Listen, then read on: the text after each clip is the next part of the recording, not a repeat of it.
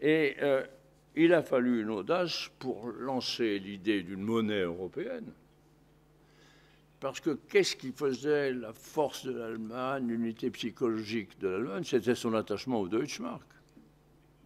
Et aller dire au pays le plus peuplé d'Europe, on vous prévient, euh, l'unité européenne exige que vous oubliez euh, votre Deutschmark et que vous acceptiez une monnaie, écu, euro, etc. Il fallait une audace considérable. Donc il faut encore de l'audace. Et dans cette audace, l'originalité de cette affaire, j'espère qu'elle va bien marcher, c'est de rechercher un contact à trois entre les universités, les meilleures, les meilleures voulant dire, euh, on les cherche naturellement, ce n'est pas un classement a priori rigide et ainsi de suite, mais c'est celles qui euh, progressent le plus. Les entreprises européennes, authentiquement européennes, qui ont des, travaux importants de développement et de recherche. Et enfin, les grands médias de la presse écrite qui communiquent avec le public.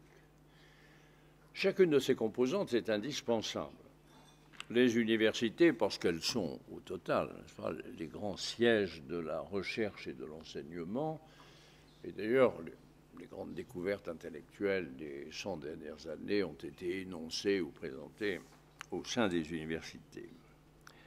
Les entreprises, parce que c'est elles qui dépensent en matière de recherche et de développement, et qui d'ailleurs sans doute, comme l'a dit Bruno Le Maire, dépensent trop peu les statistiques sont, assez singulières à cet égard, parce que lorsqu'on prend le total des dépenses sur un sujet donné, il est souvent égal ou supérieur aux chiffres, par exemple, des États-Unis d'Amérique. Si vous prenez même le total des budgets militaires européens, ce total approche le budget militaire des États-Unis. Mais si vous prenez le résultat, naturellement, le résultat est sans commune mesure. Et enfin, parce qu'il faut faire partager cette recherche avec le grand public. Il faut donc que ceux qui cherchent, ceux qui trouvent, ceux qui sont excellents, ceux qui enseignent, aient des canaux de communication qui les aident à communiquer. Il y a des revues spécialisées, il y a la publication des travaux de recherche, mais ça n'atteint pas le grand public, il ne faut pas se tromper.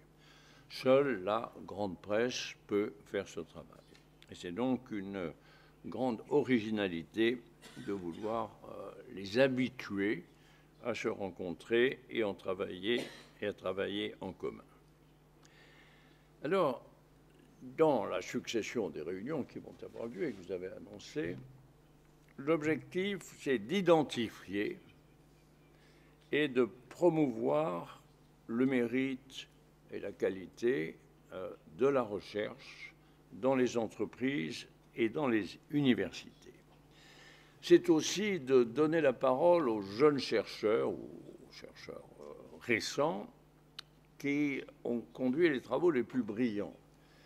Et à cet égard, il est souhaitable que les grands quotidiens euh, européens acceptent euh, parfois, et c'est un peu difficile, leur situation financière n'est pas facile à l'heure actuelle, de leur ouvrir leurs colonnes. Et enfin, c'est de s'habituer à ce qu'il existe des interactions entre les différents talents européens qui ne passent pas par des initiatives intergouvernementales, qui soient directement le fruit de réunions, d'échanges, de, discussions, et qui en quelque sorte n'oublient pas l'existence des États naturellement, mais ne passent plus par leur intermédiaire. Et je souhaite que dans les prochaines euh, réunions, prévues d'ailleurs euh, bientôt d'Atomium Culture, ce soit, je dirais que le paysage n'est pas de frontières. Et que ce que l'on voit, c'est l'image qu'on nous a donnée tout à l'heure, une Europe scintillante d'intelligence. Alors je terminerai, je suis un petit peu trop long, en vous disant que c'est un enjeu euh, vital en fait pour notre continent, la valorisation du progrès technique, scientifique et économique. Comme on l'a rappelé, les deux orateurs l'ont rappelé, euh, le cas du, du, programme de Lisbonne est édifiant. Lorsqu'on a présenté ce programme, c'était en l'an 2000, on croyait que 2010, c'était loin, et 2010, c'est l'année prochaine. Et on croyait que dans ce parcours, on verrait l'Europe se rapprocher beaucoup, voire même dépasser euh, les résultats obtenus par les grands centres d'intelligence et de recherche que sont euh, les États-Unis, le Japon, l'Inde et d'autres. Or, nous avons accompli une petite partie en fait de l'itinéraire. Cela tenait en partie à la défaillance des institutions, parce que la rotation de la présidence faisait qu'on oubliait pendant une présidence sur deux ou deux présidences sur trois euh, les engagements qui avaient été pris cinq ans auparavant. La stabilité institutionnelle va corriger ce défaut.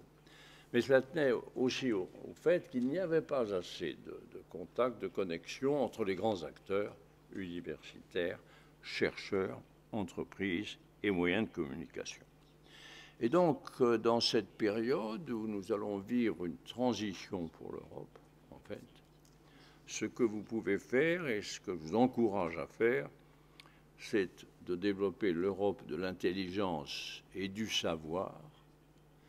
Et euh, si elle apparaît comme telle, elle rassurera ses citoyens et elle conquérera, retrouvera une influence culturelle dans le monde.